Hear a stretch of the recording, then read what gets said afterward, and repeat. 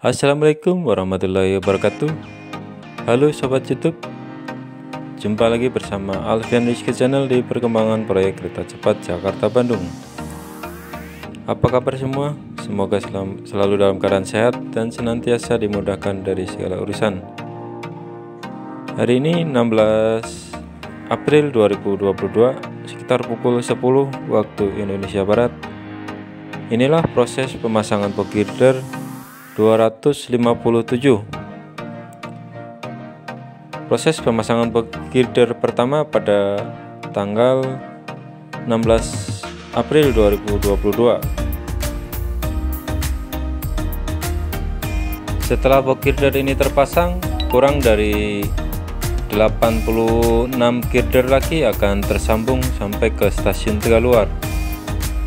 Dengan jarak 2,7 km lagi dari casting yard sampai ke lokasi pemasangan box girder info yang saya dapatkan siang ini ada pengiriman box girder ke 602 arah Cipada yaitu untuk pemasangan di area Cipada menjelang tanggal 9